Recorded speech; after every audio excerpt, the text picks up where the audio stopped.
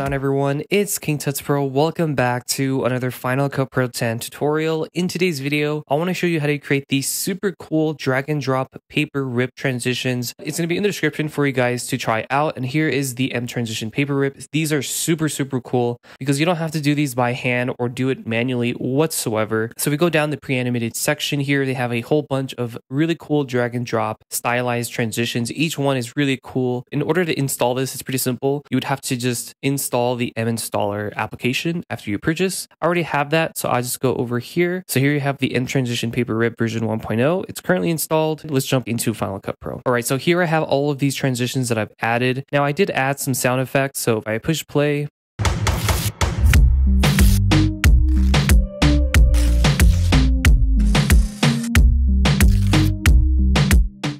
It'll look and sound just like that. The sound effects do not come with the plugin, so just FYI, but you can easily download this and find them online if you want. Uh, you don't have to use them. So once you've installed it using the mInstaller application, head on over to the transitions tab here. You're going to scroll down to the mTransition paper rip. Here you will have 52 items as you can see. So we first have the custom transitions in this category. And the way they work is you would simply go in between a clip like this. Let me disable the audio. So here's a first video and our second clip. And we want to add something in between here. So you can literally just click and drag and you're done and you can just play the video. You can just shorten this as well. So what you can do is if you head on over to maybe around the middle or so, you will have the on-screen controls, which allows you to actually control the position of where it will transition uh, onto. So like if I move it over there, it's going to transition from that middle point.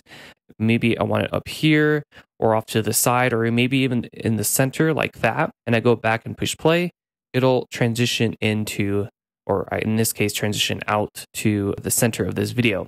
Now, if you go over to the inspector tab and you go over to the actual transition settings, you're going to have the name of the transition and then, of course, all of these really cool and customizable settings. If you don't know what that one is, you can just turn off this and it shows you what it is. By the way, a freeze allows you to freeze that clip that last frame. If you turn that off, it will just keep playing the video. It's hard to tell in this one because it goes by pretty quick. So if I make it longer, you're going to see it's still playing through, but it's hard to tell because this clip doesn't move too much. Uh, but I like to have that checked because I like that freeze frame effect. You then have the colorization, which allows you to make it a little bit more of a vintage feel. So this does add a little bit of a filter to it.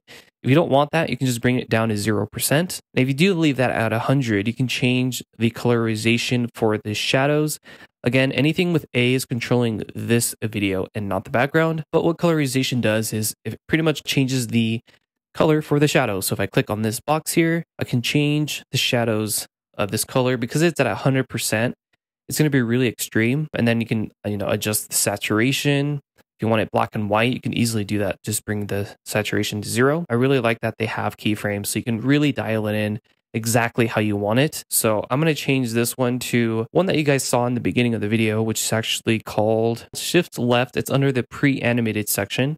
So I'm going to drag that onto this and this will just replace it in the same length as our original transition. So it'll just transition to the left. And again, if I click on the transition itself, you have all of the same settings that we just went over. So you can change the color of this white paper tear to something else like orange or red or something right here. So that's if you wanted to change that color. And the next one that we've used is called arrange vertical. So if I exit out of this, you can see all of these. You can kind of preview them too, as you can see here. But the one we're going to be adding is called arrange vertical, which is this one here. So I'm going to drag that onto the second clip and you're done. That's all you have to do. There's no cutting. I'm going to quickly go through these just so you guys can kind of see what comes with it. So here's a crumple in effect. Here's a crumple out.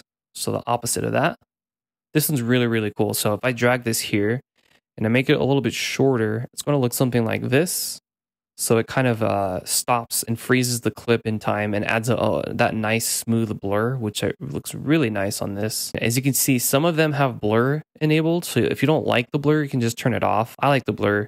I'm going to increase it on there and then change the grain scale, make it smaller if you think that's too much. So once you make your adjustments, it's it's good to just render out your clips so it plays it back in real time. And then if you have your paper rip sound effect, This one's called the paste transition. If you scroll down, here it is, paste. This one's really, really intricate of a transition. So if I add this one here and I make it a little bit shorter, it'll look like this.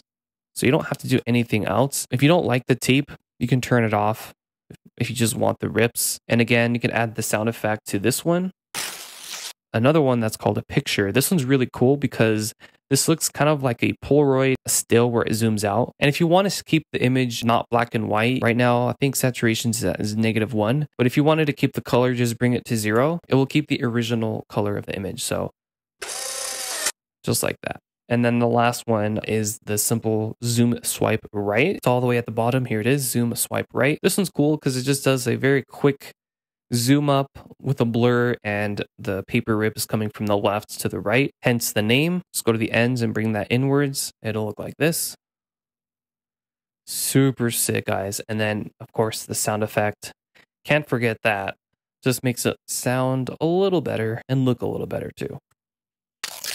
And then with the music added, I really want you guys to play around with this plugin and see what you guys can create with it. If you guys want to try it out for yourself, check out the link in the description. You guys will save a little bit uh, with a uh, special discount, by the way, courtesy of MotionVFX. So big thanks to MotionVFX for sponsoring today's video. Comment down below if you want me to review any music videos or if you have any music video suggestions, just let me know down in the comment section. And if you guys enjoyed this video, consider leaving a like. That means a lot to me and subscribing as well. And with that being said, I'll catch you next time.